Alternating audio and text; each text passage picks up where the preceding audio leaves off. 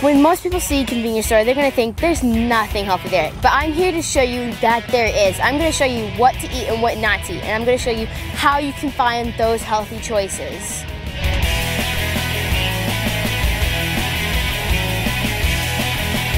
First thing you want to do when you walk into a convenience store, when you have a couple bucks, is go straight to the candy aisle. You can't come here.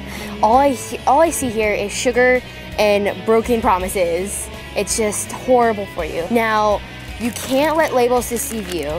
This this um, bag of fruit snacks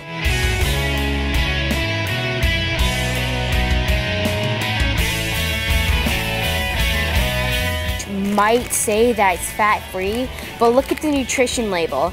It has one gram of protein, 18 grams of sugar, it's packed with calories, and it's that's why you really need to read labels, because it might say that it might be healthy for you when it's really not. Another way candy is deceive you, it can say protein or energy bar. It can even have your favorite football player on the back, but it doesn't mean it's healthy. You got to be careful with these because they can be loaded with sugar and carbohydrates will make you feel up and ha happy and just wide awake one minute and then next thing you know you'll be asleep on the couch and it's just gonna make you want more and more and more. Going back to the fats, this has 400 calories and 40% of saturated fat. That's not even the total fat for the day. After you get your sweet snack, you're gonna wanna level out that. You're gonna want something very salty. And we're in the salty section and all I see is deep fried, battered, and just loaded with sodium and salt. I mean, yeah, salt can taste good sometimes. It doesn't mean it's good for you. Your brain might tell you you want something salty, but this is not what you want. Don't let your eyes deceive you. When you want a salty snack and you see a bag like this and it has trees and rivers and it says it comes from nature, it's not necessarily true. You gotta read your facts, people. This has 150 calories.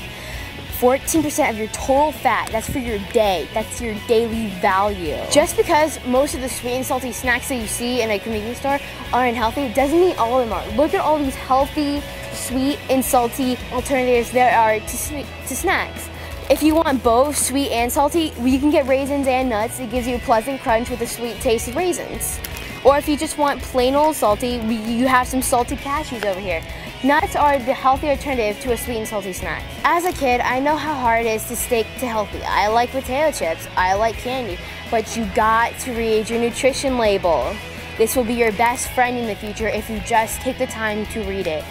The, reading the nutrition label can lead you to healthier choices and to a healthier, happier you in the future. After you get your salty and sweet snack, the next place you want to go is the soda aisle stay away from here. Kids, I want you to promise me to stay away from energy drinks. You're a kid, you're young, you're gonna have plenty of it. An alternative to soda is juices, and you're gonna want the ones that say juice, not fruit beverage because juices are more better it means it's natural and here's a great idea if you still want a fruity soda drink take some sparkling water into fruit juice and it makes a great fruity soda alternative. But When you're trying to find something to drink, water is definitely gonna be your best choice.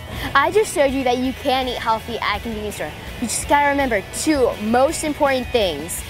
Don't look at the front, look at the back, and always, always check the nutrition labels. I'm Emily, thank you for your time.